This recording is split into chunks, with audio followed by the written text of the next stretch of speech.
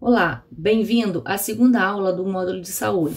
Nós vamos mostrar bem rapidamente uma prática no Tabnet e Tabiwin. Foram dois aplicativos mencionados na aula anterior que servem para a gente acessar dados do sistema de informação em saúde.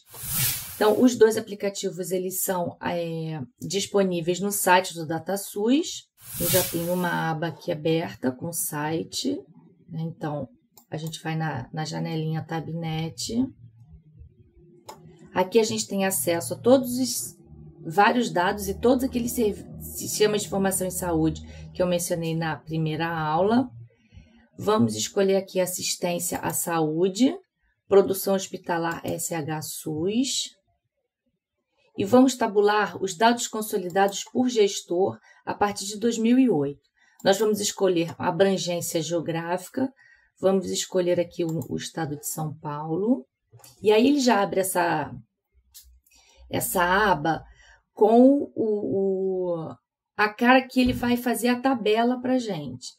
Então, aqui a gente vai escolher, tem várias maneiras da gente tabular os dados. Então, o usuário, é, olhando aqui, ele vai conseguir ver várias maneiras de tabular os dados. Então, a gente vai escolher aqui na linha o município gestor, na coluna o ano e mês de processamento, vamos escolher a IH aprovada e vamos escolher os meses de janeiro a julho de 2020 como período de estudo. Aqui tem outras possibilidades de filtro, né, de consulta. A gente vai fazer aqui uma, um exemplo usando procedimento de, é, de COVID. Vamos ver o que, que ele tem no sistema de COVID.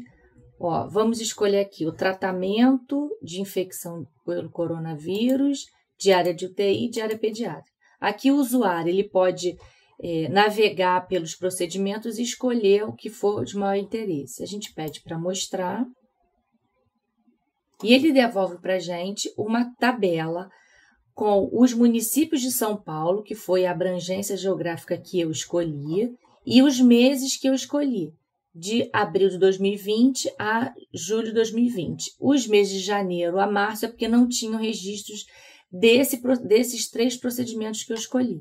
Então, ele gera uma tabela e a gente pode salvar essa nossa tabela como CSV no, no computador e usar em qualquer programa de estatística. Então, a outra maneira da gente é, ter acesso aos dados, mas o, aos micros, microdados, né, os de registro do paciente e do procedimento, que eu falei também na aula anterior, é pelo TabWin. É, na mesma aba, a gente tem essa opção do TabWin. A gente precisa baixar o aplicativo TabWin, então a gente vai baixar o programa, é só escolher o tabulador aqui para Windows ou no sistema operacional que vocês escolherem, enviar e dar o download. Eu já tenho aqui uma, uma, um arquivo baixado para facilitar e a gente vai dar um extract. Se a gente abrir esse diretório, a gente já tem um, o atalho do Tabuin, que é o último ícone, e é só clicar nele, não, ele não instala, então ele baixa o, o aplicativo e já fica na máquina, e aqui a gente já tem o Tabuin. Mas antes da gente trabalhar com ele, a gente precisa baixar os dados que a gente é, está interessado.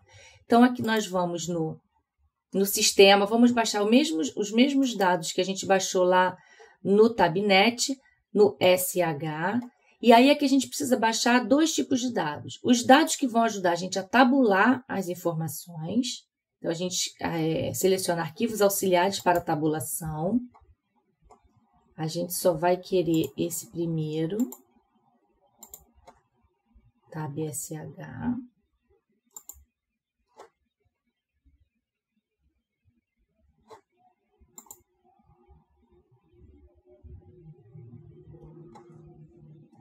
E nós vamos precisar baixar também os dados. O que, o, o que a gente escolheu na, na, na outra tabulação foi o AH reduzida para o ano de 2020 os meses de janeiro a julho do estado de São Paulo. Então a gente vai fazer a mesma tabulação, só que aqui a gente vai ter acesso aos microdados. A gente vai pedir para baixar. Aí a gente vai baixar o arquivo zip. E lá no meu diretório, onde ficam armazenados os meus downloads, eu já vou extrair esses dois conjuntos de, de arquivos que eu preciso. Aí abriu, eu vou extrair. Então, eu vou voltar lá no Tabwin e vou executar tabulação. Eu preciso primeiro chamar os arquivos de tabulação, que estão no meu diretório chamado arquivo. E vamos escolher o RD 2008, que é o movimento de AIH dos arquivos reduzidos. E aí ele abre uma, uma uma janela bem parecida com aquela anterior e aqui eu vou escolher fazer os filtros de interesse. Então, eu, é, como é só um exemplo, eu vou deixar do jeito que está e aqui eu vou escolher os procedimentos, os mesmos procedimentos que eu escolhi na minha outra, na minha outra tabulação pelo Tabnet. Eu vou escolher aqui procedimentos.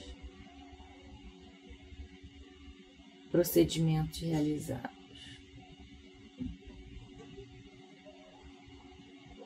Procedimentos realizados. E vou selecionar aqueles mesmos que eu escolhi na, no exercício anterior. Vou escolher o do Covid.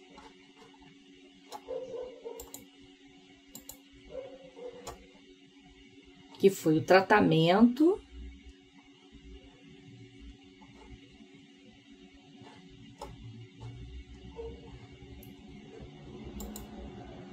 diária de UTI adulto e a diária de UTI pediátrica.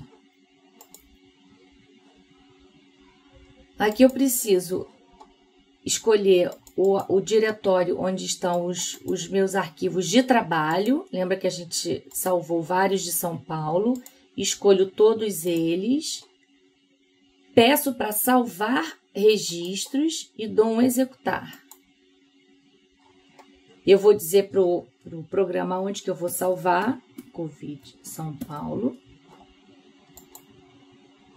Aqui eu posso escolher também alguns campos de interesse, vamos escolher todos, só para a gente ver como é que sai a tabela. E aí ele está gerando aqui a minha, a minha tabela. Também demora um pouco, porque os arquivos de São Paulo são muito grandes. E aí ele gerou aqui a tabela com o microdado. Então, cada linha dessa é um registro daqueles três procedimentos que eu escolhi. E a gente tem todas as informações. Se a gente passear aqui pela tabela, a gente tem várias informações importantes. E aí eu faço o convite ao usuário também a, a entender cada, cada coluna dessa com a documentação que também está disponível no site. E aqui eu só salvo um CSV e eu vou ter exatamente essa planilha salva em formato CSV.